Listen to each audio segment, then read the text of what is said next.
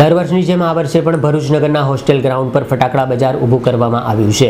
આ ફટાકડા બજારોમાં સ્વદેશી ફટાકડાઓની માંગ વધુ રહે છે.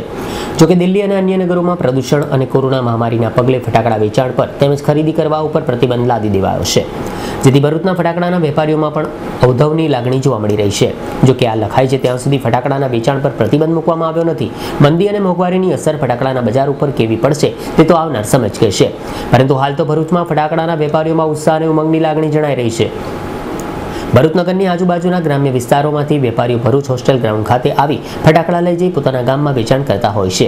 આવા વેપારીઓ એટલે કે ગ્રામ્ય વિસ્તારના વેપારીઓ ફટાકડા લઈ ગયા હોવાનું હોસ્ટેલ ગ્રાઉન્ડના જથ્થાબંધ વેપારીઓએ જણાવ્યું હતું. ગત વર્ષ કરતાં આ વર્ષે દસથી પંદર ટકા જેટલો ભાવ વધારો ફટાકડા બજારમાં જણાઈ રહ્યો છે. જેની અસર પણ ફટાકડા બજાર પર પડે તેવી સંભાવના છે. આ વર્ષે ભરૂચ શહેર ખાતે હોસ્ટેલ ગ્રાઉન્ડ સ્ટ્રીટ જે પણ કોઈ ફટાકડાની દુકાનો આવેલી છે તે બધી રાબેતા મુજબ ચાલુ છે. સરકારશ્રીના આદેશ પ્રમાણે કોરોના ગાઈડલાઇનનું સંપૂર્ણ પાલન કરવામાં આવેલું છે અને એ જ પ્રમાણે દરેક દુકાનો ખુલ્લી રાખવામાં આવેલી છે. જેવી કે અગાઉ તમે એવી અફવા સાંભળી હશે કે હોસ્ટેલ ગ્રાઉન્ડ પર દુકાનો બંધ થઈ ગઈ છે ફટાકડાનું વેચાણ બંધ થઈ ગયું છે. એ તદ્દન ખોટી વાત છે. ફટાકડાની દુકાન રાબેતા મુજબ ચાલુ છે અને ફટાકડાનું વેચાણ પણ ચાલુ છે. તમે કેટલા વર્ષોથી અઢાર વર્ષથી અમે ધંધો કરીએ છીએ ને ઘરાકી પણ અહીંયા સારી છે. એવું નથી કે ઘરાકી નથી, ઘરાકી પણ સારી છે ને પબ્લિક પણ આવે છે.